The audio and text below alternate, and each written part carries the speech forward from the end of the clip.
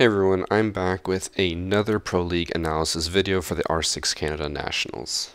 This will be the last analysis video as this is going to be the last week of the R6 Canada Nationals before the finals taking place in Toronto at EGLX. For this week's video we're looking at plays that took place during week 2 and week 3, and today, Saturday, October 5th, the date of this video airing, is the final week of the second stretch of the R6 Canada Nationals where we're going to decide which teams go to LAN and compete in Toronto. So if you want to see which teams are going to make it, stop by the Rainbow Six channel and watch live tonight at 7 p.m. Eastern Standard Time. But anyways, let's get into analyzing some plays. There's two roamers right now for Livid on the far side. Looks like it's Eventful and Mustache, I think, on the far side, over by gym and Master. Eventful's just constantly hopping on cams. Or sorry, Mustache is hopping on the cams, so... Mm -hmm. Waiting to see if they even know where the tree cam is. Don's going to rip open the CC window, try and apply some pressure and stop a possible bandit trick. So good establishment of positioning here for Momentum. An IQ might be nice here because Mustache could be able to get a free pick if he's got that information being called to him from teammates. He's look at himself. Nobody's out here at the moment, but again, if somebody chooses to come on over here, as you're mentioning, for momentum, that could be a huge problem.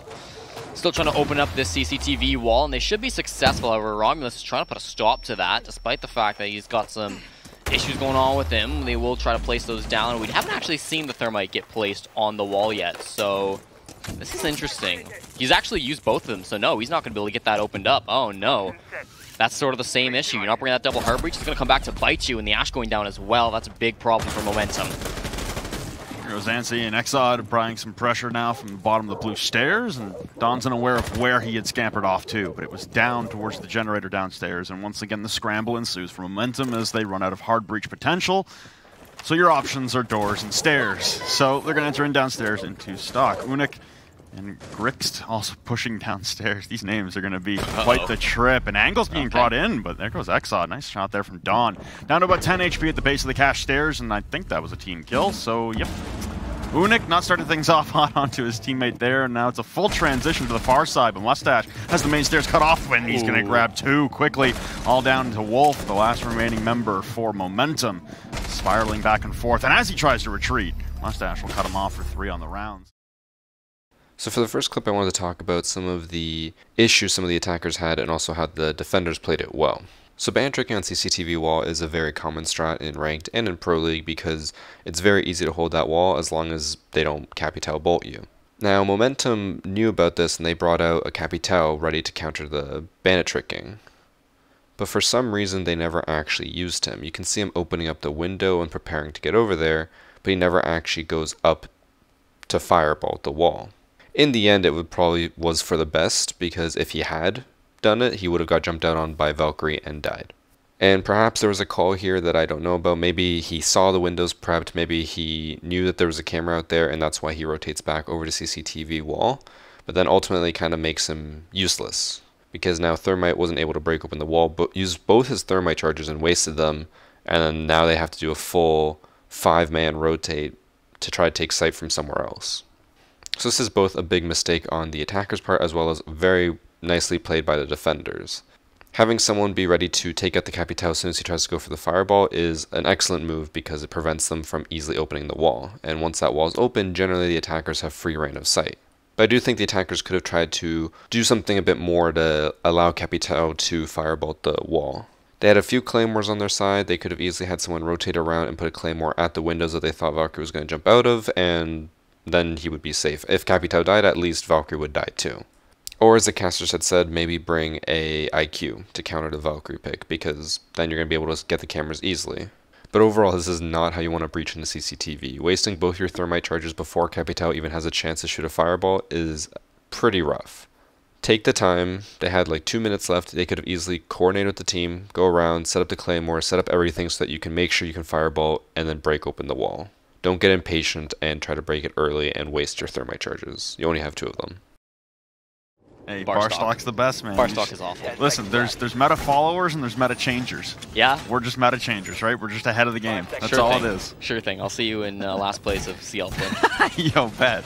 you can't even cast it. You're just gonna be sitting there watching while I keep uh, keep changing the game, bud. It's because I gotta be here casting Canada Nationals instead. Imagine okay. not being able to do both. Hmm. They're approaching the building now. and side, as we said, getting in, going onto the Ash, and so a little bit of problems with him dying earlier as well in that last round. Um, I think he was the first one to get killed by that flank, so that's fine. But again, perhaps that's something Momentum can look at. You know, once that Roamer starts coming down, he needs to make those calls, and then he needs to be able to like turn around and uh, shoot at Mustache when he's pushing you. I think you can expect Livid to keep playing aggressively on this defense, because if your momentum, like, you know you're probably the underdog to come into things, expect Livid to play a little bit dumb, and if you play, like, a little bit more safe than you're used to, I think you can actually catch them off guard doing things that they shouldn't be. I like to swap to a Jackal as well, if it's in play. Yeah. Why not have it, just to try and lock down someone, like you said. They've been playing pretty individual on the roam as well, in terms of their aggression, so start that off for you. Exot's going to take a little bit of damage on the smoke. He's going to lose about 20, and Don's made his way into logistics already. There's a wooden barricade standing in his way between him and the hallway, but Romulus eh, seems well aware of what is happening. Gerx is going to take down the Vengeful to start things off. So there goes the Jaeger, taking a lot of damage under your smoke now, burning out the ADS as well in the midst of a hailstorm of bullets. Inside the window will be Exot.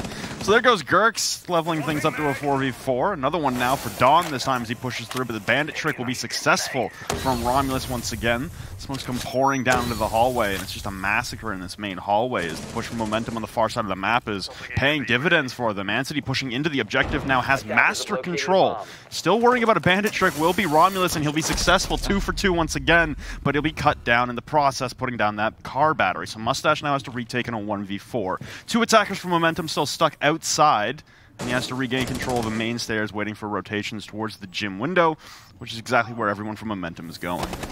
Oh, this is tough. Romul or Mustache had an option there, but he didn't quite hit the shot that he had to. He's kind of going to run down the stairs. That plant will get set down, and he's looking. He's basically only got one way to come up, and he is being a lot, very noisy with this barbed wire underneath him. He's got a lot of pings, but the players on Momentum are playing it smart. They're just backing off. They know that they don't have to push. Mustache makes his way into the bomb site. They don't really know that he's here, but they'll peek around the wall, and they will be able to find him eventually. So second clip takes place right after the first one, and they kind of go hand in hand. It shows how the attackers adapted and played differently to make sure that they could counter the bandit tricking. Now the defenders did a full setup where basically bandit is immune.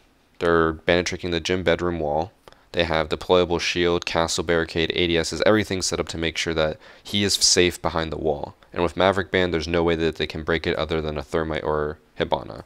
So they have the perfect setup going, and the attackers know this. So for the entire round, Thermite and Thatcher make it their goal to try to keep Bandit occupied on the wall. That is one less defender roaming around or paying attention to what's happening. Then they have Zofia go towards the gym window, ready to try to break down the barricade and shield to prevent Bandit from Bandit tricking. So Smoke plays a little aggressively and actually manages to take out Zofia before she's able to stop Bandit from Bandit tricking. This ultimately actually worked out in their favor because in the end it meant that Bandit was super dedicated to that wall and holding it. Meanwhile, we have Ash and Jackal pushing from the other sides of the map. Ash from CCTV and Jackal through logistics. Jackal plays this incredibly well, in my opinion, because he smokes out the hallway and then is peeking into master bedroom.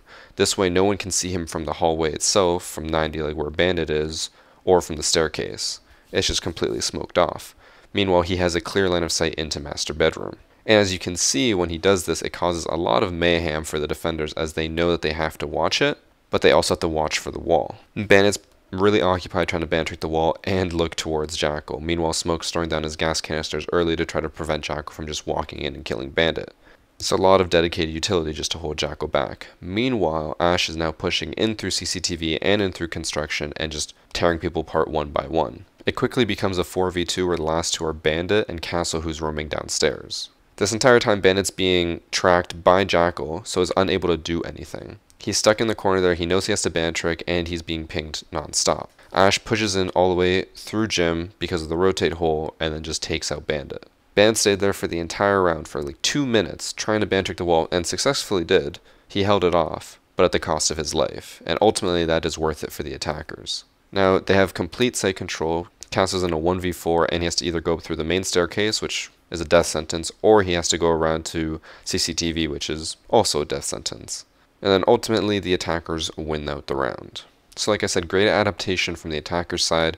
They actually put someone dedicated to try to stop the band tricking this time, as opposed to where they had Capitao just fall off. And they kept him occupied long enough where the attackers could push in from the other side and slowly pick off defenders. Whereas last time, I think they lost both their thermite charges within 45 seconds or one minute. This time they made it last a whole two minutes before they lost their thermite charges. And while they lost the charges and weren't able to open up the wall, ultimately they won because they were able to collapse onto site after the fact. So good job for the attackers for adapting so well. Uh, ops with shields. Yeah, Smoke has a deployable now. Um, Echo has a deployable. Um, there aren't many anymore. No, it's tough. Well, they got buffed, so you got to take them away from a lot of operators and now give them to other operators. I think Lesion... Does Lesion still have one, or does he have a bulletproof now? I think Lesion has a bulletproof Yeah, I don't think he has one. Yeah. Man, this is tough. Look at this, though. Sin prepping a C4. If this door gets opened up, the Oh, person on the other side does. better be careful. True, we've seen that already today. That was a bit of a disaster. Mm-hmm. Sin opting not to bring it. We'll see if he regrets that decision, because if he dies to this, he's probably not going to be happy that he brought the Nitro Cell. He's going to throw it on out, but not far enough to get the full damage on a max. About half his HP gone, though. So I think you're happy with that. You don't know that you got it, but I still think that that's probably worth. Nitro Cell for half HP isn't ideal. You could be getting a kill with that, but it's better than just wasting it, which oftentimes people would. Yeah, he's waiting for the repel in, but it never quite came just because Max was playing a little safe there, and the pings were trailing Cinnamon as he tried to escape back in towards Aviator, and here come the shots. More pings ringing out onto him now inside of the vault. Being collapsed upon from multiple angles, getting off the drone as Max pushes in close range, proning him behind the desk in a Vault to try and do any damage possible, but it'll be the man that he came first blows with in Max on the buck to take him down, so good start here for the Old Man Club on the clear. They've lost a little bit of health on both Max and Don Papo, but it's, uh, it's a good start nonetheless, getting the kill onto the Valkyrie and eating that C4 early. So now they can push from the far side across. Max hungry for these kills, almost got a second one as well over on the staircase, but didn't quite hit the shot that he had to. So first getting the revenge on a Cinnamon, and now things will slow down a little bit. And that's nice roam clear, getting uh, Cinnamon off of the board. After he did a little damage to your buck, still two frag grenades, still a lot of utility to be able to use by Max. If he wants to go downstairs, he's got that option available to him. Sky's jumping in this window, could find himself in a bit of trouble. Thinking better of it for now, worried about a bit of a run out. Again, if you've got somebody roaming down there like you do, then that could be dangerous. Jolly's still able to run anywhere on the map that he wants to go. Playing on the Doc can definitely get aggressive on that operator, but hasn't done it yet. We see Dawn still dealing with some op with uh, some utility, and yeah, here's Jolly down on this first floor. Not really in a position to go for an immediate uh, battle, but if he walks up those staircases, could look around, could eventually try to find somebody. I believe he was the one who initially got in that engagement with Max right after Sin had died, so time's ticking down here for OMC. They really got to start getting into things. Jolly just sitting around waiting for a move to be made. It's going to be Max who ends up finding the second kill of the round, so he's got all of them finding the Owly, and that's going to be the Maestro off the board as well. So there goes some more people into the bomb site. Tev going for the plants. He's now in the bomb, but he can't quite go for that plant yet. Now he will. Had to pull that needle out of his foot first. Dawn gets a kill to try to make things even more in favor of OMC. If they get this plant, it's going to be a disaster for Yes. Snug gets the first one. Tev gets another one for the team of Yes. It's a team kill. A bit of a missed throw from Snug means that they're not going to be able to use that all too effectively. There's pings coming inside of the master bedroom and inside of bathroom, but nobody's in there, though. So close to being able to fuse that, but he can't quite hit it yet. Misu's got to get these kills before he can go for it. Peeking into the master bedroom, just pre-firing the whole angle, and he will be rewarded with a kill on a Tev because he was so low HP. Only two attackers still try to stop this, but they need to get him fast. Snug with a pistol, be able to take down one, two!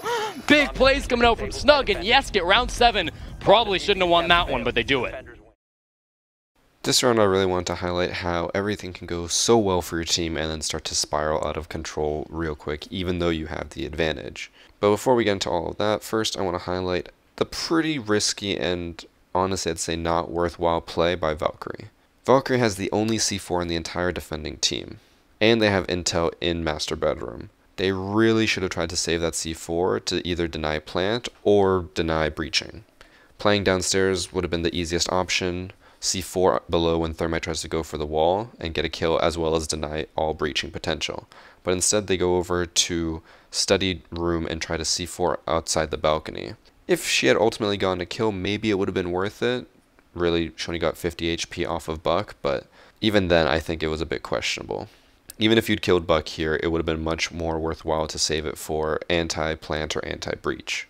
But then the attackers play it pretty well here. They know Valkyrie's over here. Valkyrie makes a mistake of going into Vault, one of the hardest places to get out of when you're surrounded, just because there's only two doorways and no cover. So the attackers coordinate super well here. IQ decides to go through study. Buck is holding down the hallway, making sure she doesn't leave another way. And then they just have the drone come in from, I'm assuming, probably Dokkaebi or something. And they're just spamming her with pings. Meanwhile, the attackers are slowly trying to push in at the same time. And Buck gets a little antsy and actually pushes in and kills Valkyrie. And honestly, Valkyrie played that as good as she could in that situation just because I don't know if you guys have ever been in that situation. It is very stressful when you have two attackers pincering you as well as a drone spotting you non-stop. But while they did play that out super well, the rest of the round starts to not so much go in their favor. A lot of very small mistakes that ultimately ended up costing the entire round. It took the attackers about another minute and a half just to breach the wall and then get into sight, which is pretty bad in terms of time management. They got one kill early and then stagnated very hard. But luckily, as they start to push in, second logic bomb goes out. Buck manages to take out Maestro, and they cover for the plant. I personally would have pushed in a little bit sooner. Thermite pushed in after Logic Bomb had already finished, and really should have tried to go in probably after a second of it being deployed. But now it turns into a 5v2. Plant's going down, and here's where the attackers really started to drop the ball hard. As you can see, all the attackers inside master bedroom are getting pinged non-stop. This is where IQ would have been absolutely fundamental. Or even Thatcher. Thatcher's used all his EMPs somehow, and they didn't even have any anti-wall breach. So he must have used, I'm assuming, two on Maestro cameras and then wasted the last one for Lesion mines or something. But either Thatcher or IQ could have taken out the camera spawning them non-stop. But instead they leave it up and it absolutely destroys them because now the defenders know where everyone is. But before those pings happen, we do see a team kill from Thermite onto Buck. My best guess of what happened here is Thermite stuck the plant, and then as soon as the plant goes down, he looks up, ready for the defenders to peek him. And he just assumed that if someone was in deer, it was a defender. So he shoots Buck and manages to get a team kill. And like I said, they all retreat into master bedroom, getting spotted non-stop. The defenders know exactly where they are. Jaeger goes for the wide swing and infinite pre-fire takes out Thermite. And then this is where the attackers start to falter a lot more. They both were in positions where they couldn't easily cover the defuser. They were too far away, and if they tried to push in through master bedroom, the defenders would know when they're pushing. Thatcher's all the way in closet, and Dokkaebi's in master bathroom. Jaeger starts to try to stick the defuse, and both the attackers either have to run for about 3 seconds to actually get there, or just wait to see if it's a fake. Dokkaebi says to rush for it, but Lesion can hear her because when you're sprinting, you can easily be heard. Lesion gets ready for the push and manages to take out Dokkaebi with the pistol, and then they have the camera in master bedroom so they know when Thatcher's pushing, and Lesion just flicks over and kills Thatcher as well. Jaeger stuck the defuse and manages to get it off before the time runs out. So if that intel had been eliminated, it would have been a lot harder going for the defenders. They would not have been able to cover Jaeger so perfectly when he went to try to defuse the bomb. All they needed was just either a Thatcher EMP in master bedroom or an IQ. That's it. Now, keep in mind, they were running low on time. Like, when they got the defuser down, there was only a few seconds left in the round. IQ didn't really have too much time to rotate over, but I also think she could have made the time. The defuser had just gone down. You got about 45 seconds. You have time to run around. But instead, they all started to push in in the 5v2, uh, being aggressive because they assumed that they had the advantage, and then very quickly their numbers started to dwindle. So, like I said, a lot of little mistakes that added up to them losing the round all of Yes right now are kind of all over the place and, and, having great impact on the round. Cinnamon debating going for a run out outside of detention. There's a man waiting for him. It'll be Max. -oh. The wall gets opened up, and as he swings in, Cinnamon on the quick peek. Just getting a little too cute with it. So the only damage done will actually be Cinnamon taking a little bit of damage himself from his own impact grenade. it was a good try uh, give him that. But no, unfortunately doesn't able to do anything. Hello, Snug just runs into the break room and he gets a kill. Dawn is apparently not paying attention and he's going to get caught off guard. Very aggressive stuff. We were just talking about how Snug's been playing great so far. Doesn't take a bit of damage in that engagement. Jolly is somehow taking a little bit though, and so he's going to be hurting unless he can, well, unless nothing. There's no docs on his team. There we go. Max getting a kill, but eventually also shut down in break room, so this is a little bit tough.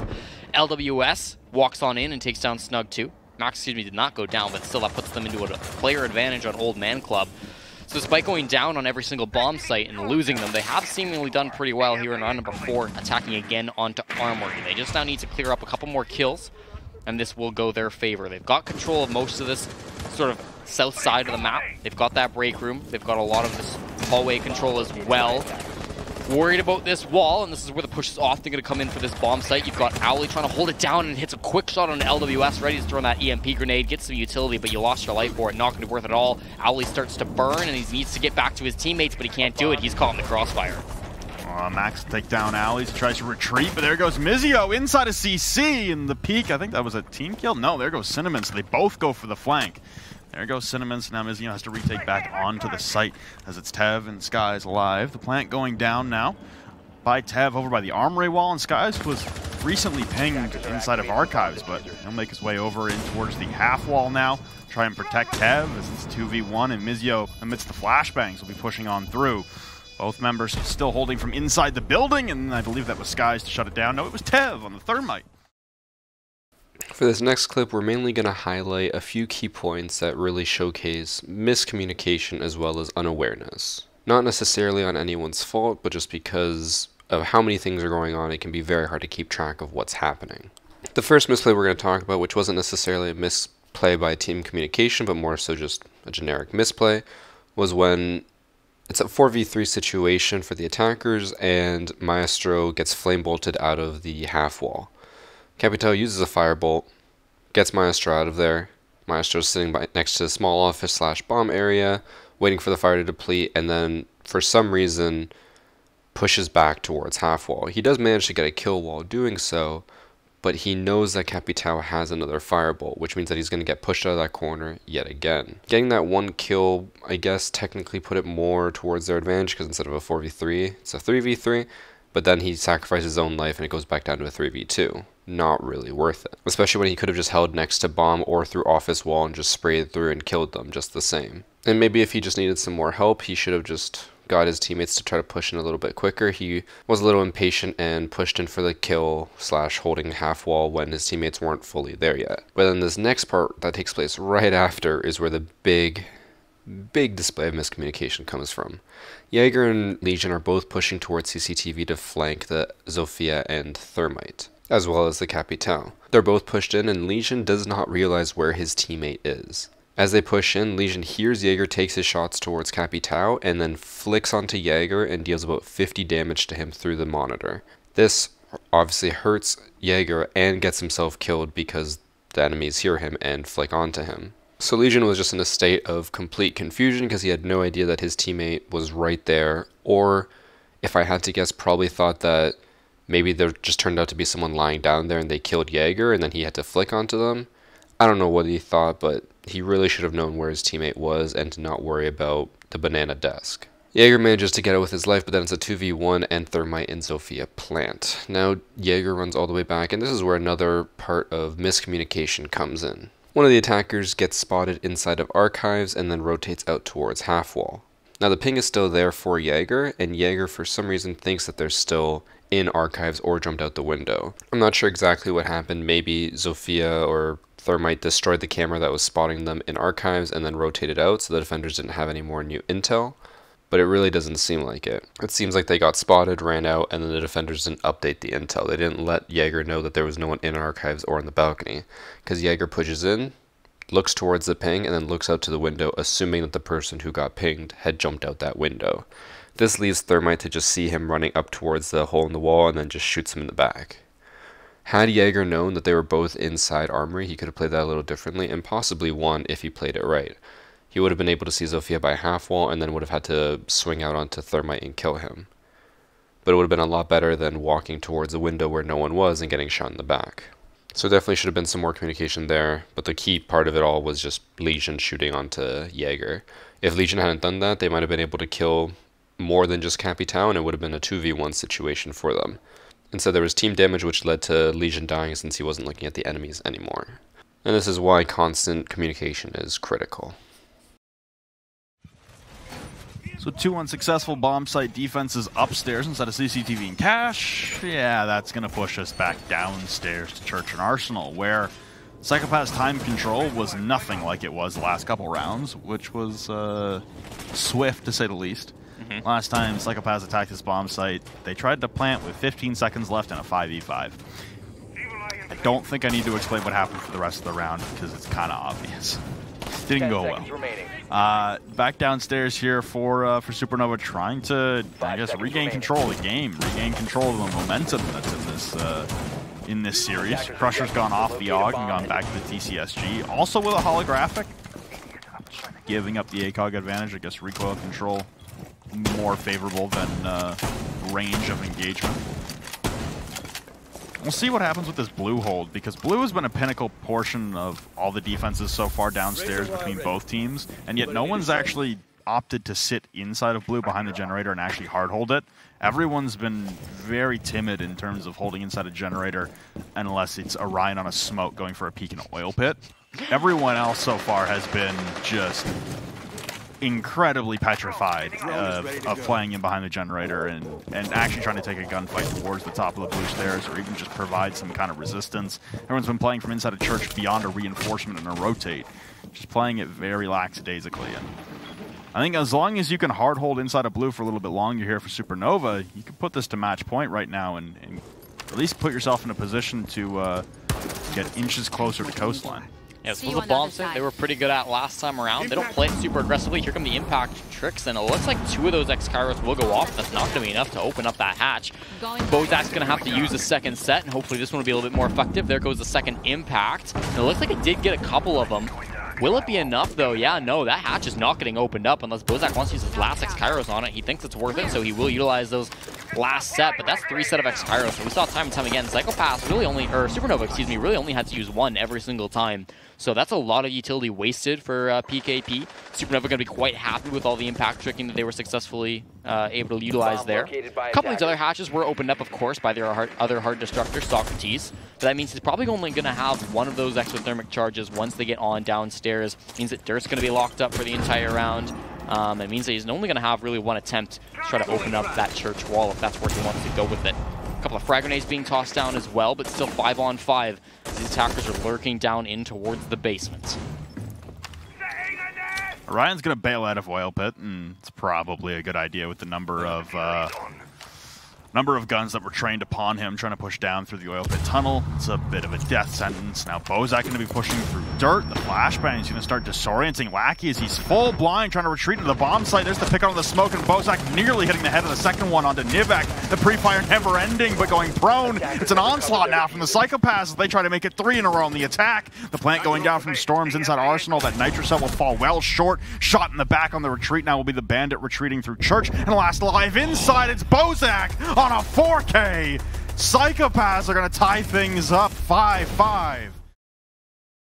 For the second last clip, we're going to talk about something that I just made up on the spot, and it's called utility trading. Trademark. So what utility trading is, is, well, as it sounds, trading off utility. Using one gadget to waste another gadget on the enemy team, and then back and forth, back and forth. One common example of this is wasting flashbangs on an ADS to burn the ADS so that you can throw in frag grenades. While you may lose some utility just to destroy the enemy's utility, ultimately it usually works out in your favor.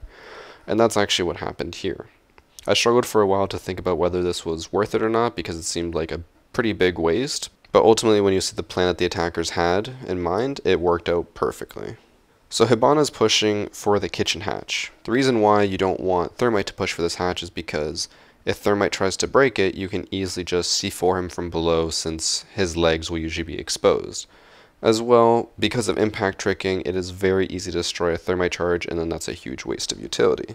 And for those of you who don't know, impact tricking is basically where you just used impact grenades to destroy hard breaching gadgets. And usually you do it in a situation where you yourself as a defender are perfectly safe and the attacker just gets screwed over. For example, here where Maestro is throwing the impacts at the kitchen floor where he can't be seen, but he can still destroy the Hibana pellets. That's impact tricking. But going back to the utility trading. Basically, as far as my understanding is, there was a Kaid originally on that hatch. And then Thatcher comes over, throws his EMP down, and destroys it. That's an even trade of utility, one for one. You lose one EMP, but you get one Electric Claw down. And then Hibana tries to go for the hatch and gets one row of Hibana pellets impact tricked. Trading an impact for a row of Hibana X Kairos is definitely not worth it, but there wasn't much she could do here. Still going one for one and it uses another row of Hibana pellets and gets impact tricked again. Now here I would have said it's definitely worth it because if I'm not mistaken, the first time she threw down pellets, two of them managed to go off. And then the second time she put down pellets, one managed to go off. If she had gone one more pellet off, it would have broken the hatch, and that would have been well worth wasting two impacts and an electric claw. But then only three of them managed to go off total, so she had to use another row just to break the hatch. Now, if they had no thermite, I would have said this is the biggest waste in the world and not at all worth it. But since they had the thermite, thermite was able to open up both dirt and moto drop hatch, so Hibana was able to dedicate all of her utility over to that kitchen hatch. And the reason why ultimately it was also worth it is because they went for a full armory take. By opening up that hatch, you're not able to hide anywhere on the armory side by the gun racks. You have to either push towards blue or you have to be in blue or church, which makes it very limiting to hold as a defender. So the attackers made the decision that it was well worth wasting all of their Hibana pellets just to make sure that the defenders can't hide underneath the hatch. And ultimately it worked out because then all the attackers, once they got the hatch open, migrated over to either holding the hatch or going through dirt tunnel. And since no one can hide underneath the hatch since it's open, that means they can just kind of walk right in through dirt, take out anyone sitting next to the boxes or by blue door, and then just they own site right there. So like I said, ultimately worth it, and I think they played it out as well as they could. And holy, what are these operators? I was staring at this the whole time. So Sin locks in Kapkan immediately. Jolly then goes and locks in the Frost, and then six picks away from the Frost to the Caveira. Defenders. I'm sure that I've never seen that before in my life. And they're Like going 100%. downstairs. This is our first view of kitchen and dining. Well, they have to. The up two stairs are locked off, so that makes sense. But wow.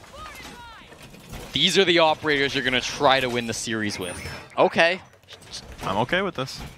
I don't know that I am for yes, but I'm I'm, okay excited. I'm excited. I, I think the big thing is that tempo has been a big problem for the old man club. On every attacking round they've been pushing in, whether they've been successful or unsuccessful in the round, they've been pushing in with about 30 seconds left. Trap operators. Ten seconds to go. okay. They're just they're just so incredibly powerful when teams aren't paying attention and when they take too long on a push. It'll be curious to see where Cinnamon elects to drop all these. Looks like he was avoiding some drones there for a while as well. And of course, we have a Cav. So, Kevin, show us a lot of Jolly. Thank you so much, Kevin, our wonderful observer here at the Canada Nationals. Yeah, the Cav. It's interesting with the six picks too that they chose to show both a Frost and a Kapkan. That means that Old Man Club are going to know that one of those two operators are on the board, so they're going to be looking for traps no matter what. They know there's going to be traps. They don't necessarily know what kind of traps until they see the Kapkan with a drone. Um, but they're not going to be necessarily expecting the Caveira. And showing two trap operators might lead Old Man Club to ignore the basement because while they're bringing traps, why would they also put somebody in the basement?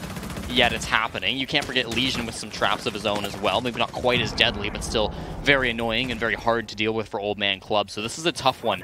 OMC have been very slow to get into the building, and I don't think those traps being on the border are a coincidence with that. Well, that Sky is going to oh. try and full send into the pantry window, and he's going to get slapped away by Owly, and here it comes. Nope, Jolly's just going to collect a kill onto Tev. There goes the Thermite, though. LWS pushing down to try and reclaim the kill, and he will onto Jolly, so no interrogation. Down Papa attacking on, taking down Owly as they all try to barrel into the site, but Sin will cut him down with the 9x19. And another trade here from Max up above in towards the China cabinets. Down to a 2v1 now as the quick kill onto the Jaeger of Misio. So it's all snuggling to keep us in regulation and to send it home here for yes, or it's Max and LWS to clutch up and send us to overtime. They don't know where Snuggling is, playing at the base of the red stairs, waiting for anyone to turn the corner into the hallway. Ping's coming out onto Max inside of the China door as they both amass to try and get a plant attempt going down. Default camera is shot, so lack of intel now as Max is alone in the site. LWS trying to regroup with him, but low on time and hitting a Kapkan. And there goes LWS now down to the Kapkan trap. It's all Snuggling, and he has the health advantage. The impact grenade will be another distraction. Lots of sound, but seeing him in behind the island, Max will clutch it up. So for this last clip, I want to highlight how Six Pick actually managed to impact the whole round. The defenders opted to go for a full trap setup with Kapkan, Lesion, and Frost. But then they swapped off Frost for Cav. Now Cav is a pick that you almost never want to let them see because then they know what to expect. They know Cav will be there and they know to hunt her down. Whereas if you six pick off of her, they have no idea that she's there. They're just going to assume that you're going to go full traps and then she can roam freely without them knowing. As long as you don't get spotted during the prep phase, you're golden.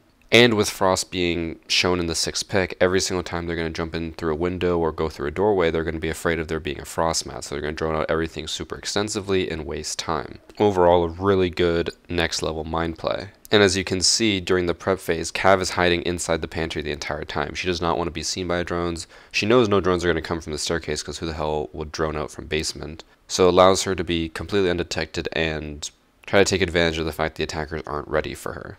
And it does work out. As we move forward into the round, Gridlock died, which made it a 4v5, but then Thermite and Sledge both go in through pantry stairs. Cav is waiting for them at the bottom since they're not expecting Cav or someone to be roaming in basement, they don't drone it out. Cav comes upstairs, downs Thermite, kills him, and tries to go for a second but actually gets picked off by Sledge, still manages to do 50 damage to him. But overall, swapping off from Frost to Cav gave them basically a one and a half for one trade, which is pretty good in my books. As we move forward into the round, a whole flurry of kills come out and it becomes a 2v1 situation, which is where I think the attackers could have probably played this decently better. Now, the situation for them, as far as they know, is they have no idea where Lesion is. He could be on site, he could be holding from above, he could be coming from below. They don't know. And I think this makes Sledge panic. He decides to just jump outside the window and rotate all the way around the map and try to meet Buck in kitchen, even though he was already in pantry side, which honestly I think was for the most part a mistake. Yes, I understand that that side seemed clear because Buck kind of went through there, but it also is just as risky as pushing straight in from pantry. He had to break a barricade just to get in there, which means that if the defender's nearby, they're going to know exactly where Sledge is pushing through. And it didn't help that he managed to run through the one doorway that they hadn't checked, and he went through a Kapkan trap getting downed leaving it into a 1v1 situation for Buck to clutch out with no defuser on site. In my opinion, what they should have done was just have Sledge push in through pantry and maybe try to plant in the corner of kitchen. The risky part would be obviously if that lesion is inside of living room or whatever that room's called, he could maybe get an angle onto Sledge and kill him, and then Buck would have to try to trade out. A little risky, but in my opinion, not as risky as running around the entire map just to try to push in where Buck was a few seconds prior. Ultimately, Buck managed to clutch it out and they win the round, but at a pretty big risk.